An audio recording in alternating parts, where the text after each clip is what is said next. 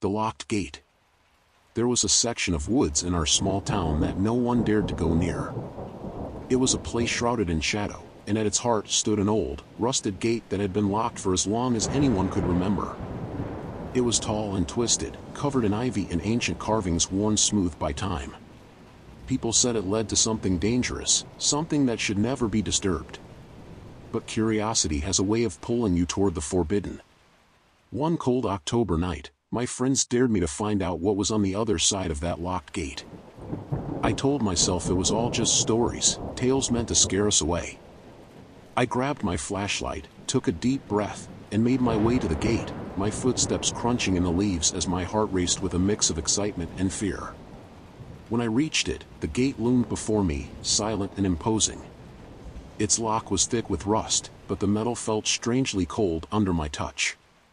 I pulled at the chain, hoping to shake it loose, and that's when I heard it, a faint scraping sound, like nails on metal, coming from the other side. I froze, the hair on the back of my neck standing up. The noise grew louder, as if something was pacing, restless and waiting. I stepped back, but just as I was about to leave, the lock broke free with a sharp clang. The gate creaked open, revealing a dark, narrow path leading into the deeper woods. My flashlight barely pierced the darkness, illuminating only shadows that seemed to twist and writhe along the path. Driven by a strange compulsion, I stepped through. The air was thick, almost suffocating, and every sound seemed to be swallowed up by the silence. As I moved forward, I saw carvings in the trees, symbols that looked ancient, foreboding. They seemed to glow faintly, like they were watching me. I tried to turn back, but the path behind me had vanished, as if the forest itself had closed around me. Panic clawed at my throat. I was trapped. Then, I saw it. A figure stood ahead, shrouded in mist.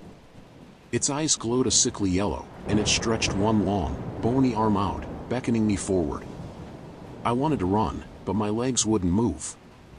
Its face was pale and hollow, twisted into a smile that was anything but human. The figure whispered my name, each syllable scraping against my mind. I clutched my head, trying to drown out the sound, but it grew louder, echoing from all directions. The creature took a step closer, and I could see its face was covered in the same symbols I had seen carved into the trees. The gate, it wasn't just locked to keep us out. It was locked to keep something in. Realization hit me, but it was too late.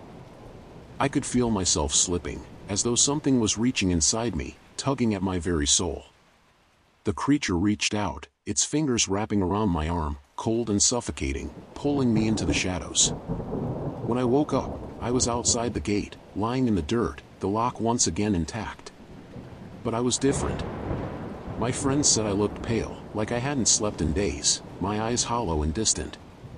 I tried to tell myself it was a nightmare, but every night since, I've felt it, something clawing at the edge of my mind, a constant whispering from beyond the gate.